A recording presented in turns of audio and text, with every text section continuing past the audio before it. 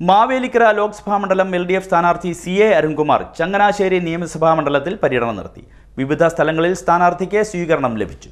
മാവേലിക്കര ലോക്സഭാ മണ്ഡലം L D F സ്ഥാനാർത്ഥി advocate C A Arunkumar Changanassery നിയമസഭാ നിയോജക മണ്ഡലത്തിൽ പര്യടനം നടത്തി. വടക്കേക്കരയിൽ മുൻ മന്ത്രി ജി സുധാകരൻ പര്യടനം ഉദ്ഘാടനം ചെയ്തു. തുടർന്ന് പുത്തൻകുളങ്ങര തൊമ്മൻമുക്ക് പുറക്കടവ് അമ്മച്ചൻമുക്ക് പുല്ലക്കാട്ടുചിറ പാത്തിക്കൽ മുക്ക് മണ്ണാത്തിപ്പാറ ചീരംചിറ പാടം വട്ടക്കുന്ന് പുതുച്ചിറ ലക്ഷ്യോദയ ഏനാച്ചിറ എന്നിവിടങ്ങൾ പിന്നിട്ട് കൊല്ലുകടവിൽ പര്യടനം സമാപിച്ചു. ഉച്ചയ്ക്ക് ശേഷം ചിറവമുട്ടത്തുനിന്നും പര്യടനം ആരംഭിച്ചു. പുന്നമൂട് ശാസ്താങ്കൽ മുളക്കാം തുരുത്തി ചെട്ടിശ്ശേരി മിഷൻ പള്ളി ചാമക്കുളം നെല്ലിത്താനം പുത്തൻപള്ളി എന്നിവിടങ്ങൾ പിന്നിട്ട് യസ്പുരം കോളനിയിൽ പര്യടനം സമാപിച്ചു. എൽ ഡി എഫ് നേതാക്കളും ഒപ്പമുണ്ടായിരുന്നു. C D net news Kayamkulam.